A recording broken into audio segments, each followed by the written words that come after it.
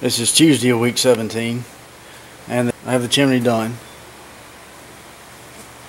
Turned out fabulous.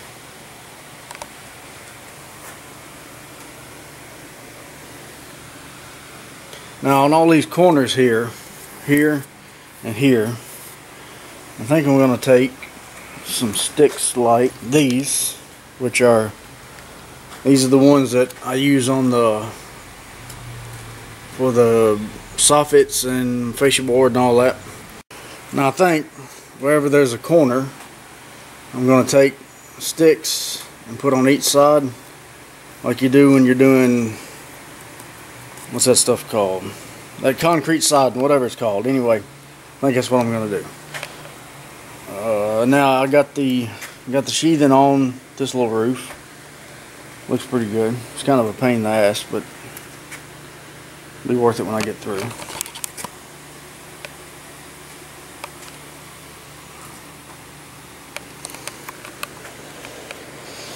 Now I'm about to start doing some roofing on this and uh, which will probably be another pain in the ass but I'm gonna see what I can do with it.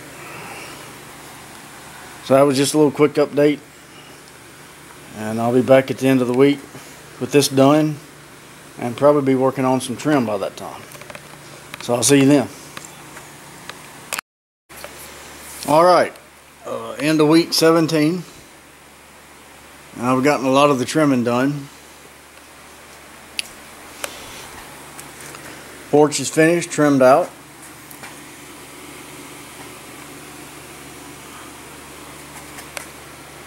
Looking good.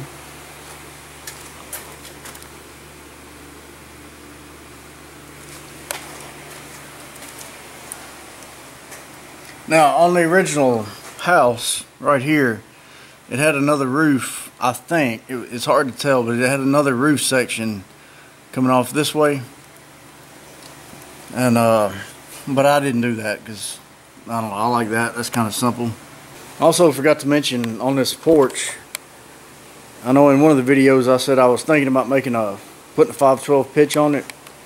It is a 512 pitch. That's what I decided on and I like it got the little trim piece on the ends there soffit under it. Trimmed out the bottom the bottom band and then trimmed out all that all this up here.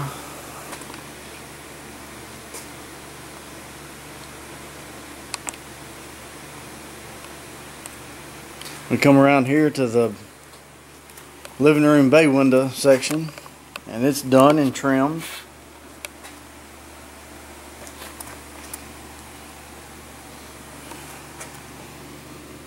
Now the ridge cap on this one, I let the, the sticks butt up,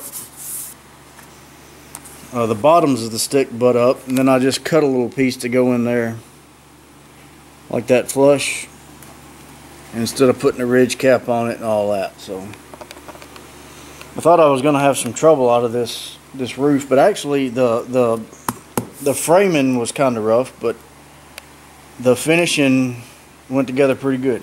So I didn't have much trouble out of it. All the soffits are on.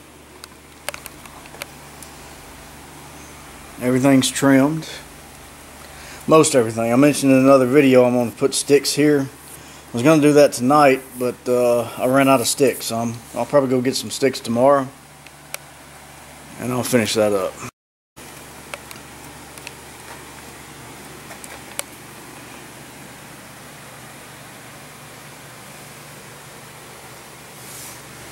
come around here and look at the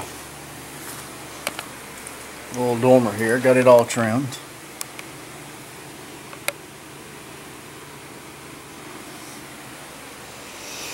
And let's see what else. If you remember in a in another video, I had a had a gap right here.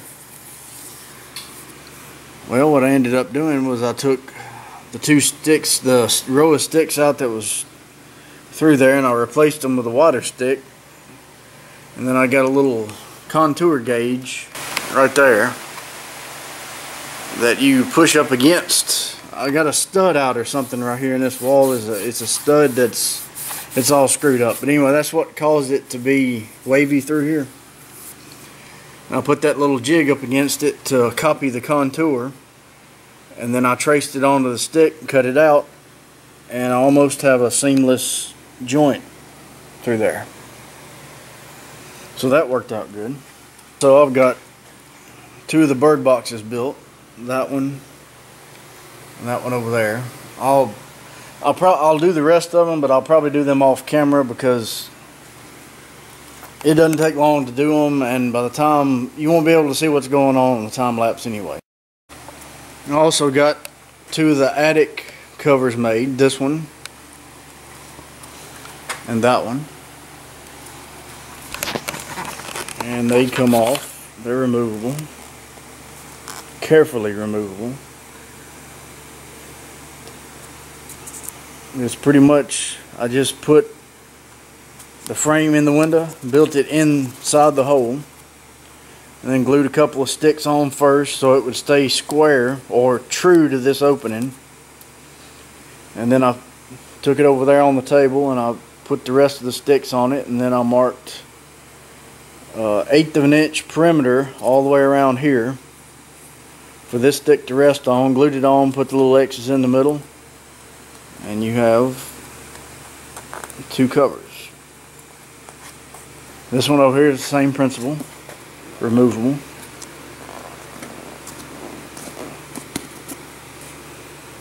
Got a mark so I know which one goes where. That one's bigger than the rest so I know where it goes.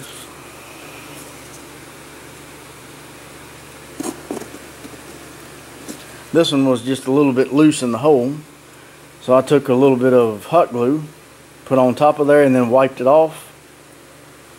And what stays filled up, took up the space for it to be a little tighter. You want them to fit tight because if you don't, they'll, they'll fall out.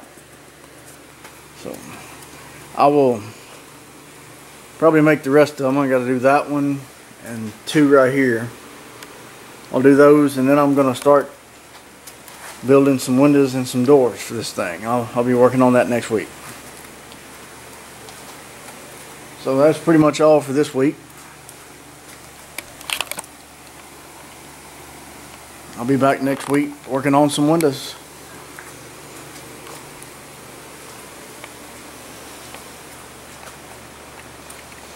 Till then, see you later.